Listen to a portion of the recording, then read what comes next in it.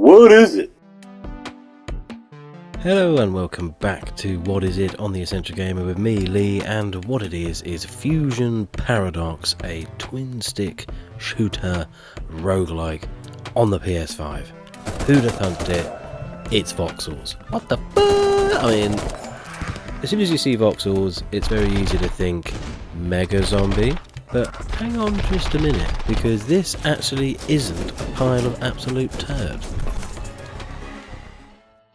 So, firstly, its unique points. Fusion Paradox is basically set in a universe which is the same as Controls. People did experiments, they went a bit wrong, they undid energy, they let beasties and demons out after there was a big explosion, blah de blah, yakety schmacks. It's all gone tits up, lads. Let's kill the baddies, basically. You are tasked with going into what is uh, the Federation or the the business or the the the control people headquarters, which is constantly evolving, constantly changing against many, many baddies. Uh, fairly typical roguelike gameplay loop, except for the energy. So you can choose between two energies to charge your character with at any time.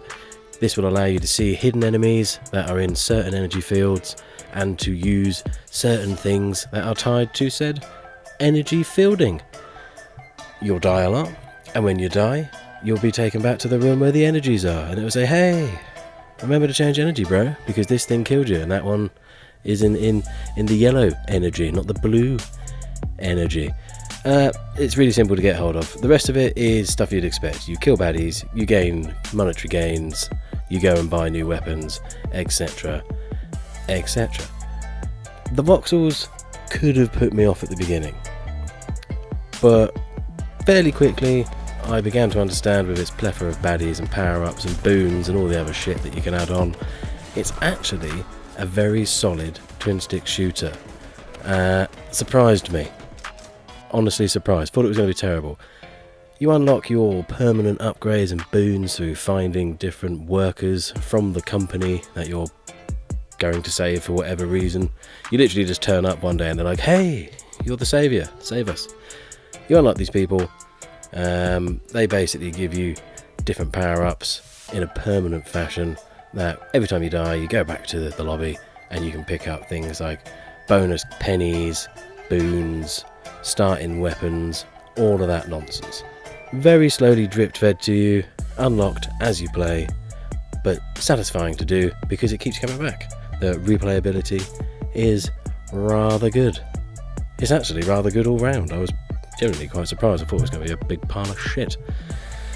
I put it on the I'm scared difficulty because I'm an idiot, and it became 10 times even more enjoyable with an influx of baddies, the variety of which is excellent, by the way. You'll be fighting all sorts of ridiculous creatures with all sorts of ridiculous things to take into account when you're trying to defeat them. You get lots of different weapon types to try and defeat them with, which is good, and you're going to need every single one.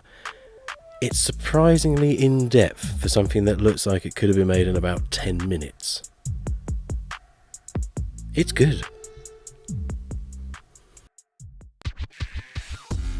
So, the good thing about Fusion Paradox is it's not stingy on the power ups. So, you're constantly adding new things to your arsenal, new permanent skills, new found abilities, all of that stuff to up the synergy level between what you're currently holding in your loadout.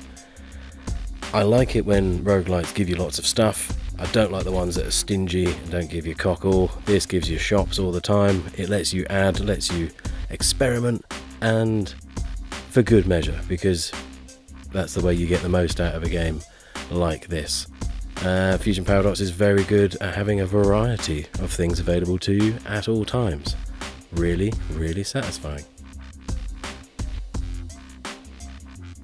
And there's a big old uh, like bestiary uh, inventory. Lots of enemies, lots of different types, lots of power ups, lots of guns, lots of stuff. If your roguelite hasn't got lots of stuff for you to add on to your stuff, then there is no point in it having any stuff whatsoever, is there? So, good on you, Fusion Paradox. Especially giving me things like chicken heads and Cyclops to fight. Why not? Give me all the stuff. Give me a big map that's procedurally generated that changes every single time I die and give me bosses that are ridiculous, like Dave from accounting. He's so big and pissed off, it's just like real life.